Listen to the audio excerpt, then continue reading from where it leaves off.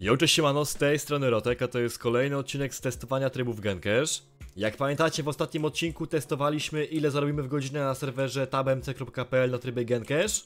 A dzisiaj sprawdzimy ile zarobię także w godzinę na innym trybie Gencash u youtubera Zenciaka.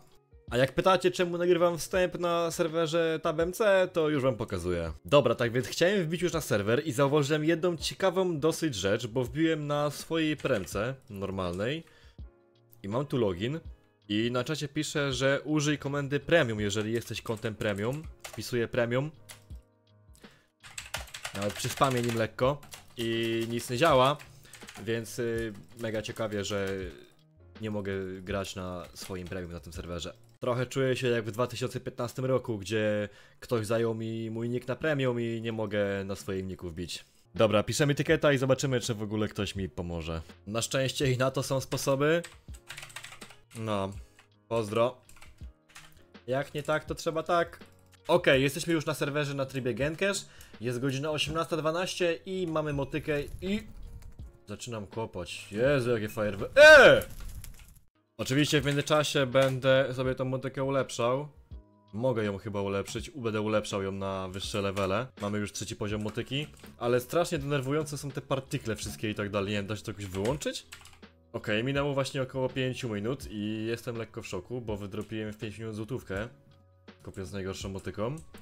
Ale zobaczymy jak to się przełoży na dalszą część, bo może być to tylko zachęta, więc kopiemy dalej. Dobra widzowie, minęło właśnie 10 minut od startu, lekko ponad w sumie.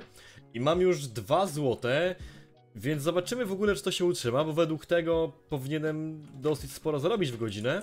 Bo coś mi się wydaje, że może się to zatrzymać, że wydropi do jakiegoś progu i przestanie mi w ogóle dropić. Okej, trochę się zamyśliłem, minęło trochę dużo czasu, bo zostało nam 20 minut kopania do godziny. I stestujmy jedną rzecz, bo teraz mam 5,56 wykopane.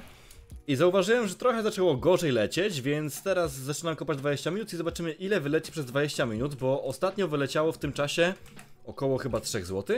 Okej, widzowie, minęło równa godzina i tak jak myślałem, troszkę się to zatrzymało.